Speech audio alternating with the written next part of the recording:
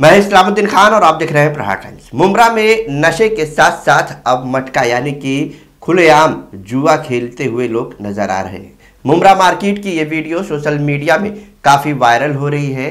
ये जुए का अड्डा जो चलाता है, उसका नाम अब्बास बताया जा रहा है। यहाँ पर सब्ज़ी बेचने वालों की आड़ में ये बैठता है और पर्चियाँ फाड़ते हुए वीडियो में आप साफ़ देख सकते हैं। एक तरफ़ जहाँ पुलिस ऐसे नशा और जुए के अड्डे के खिलाफ सख्त एक्शन। मोड में है, वहीं दूसरी तरफ़ मुमरा मार्केट में खुलेआम जुए का अड्डा चलाया जा रहा है। आखिर ये क्या दर्शाता है? आप भी देखिए ये वीडियो।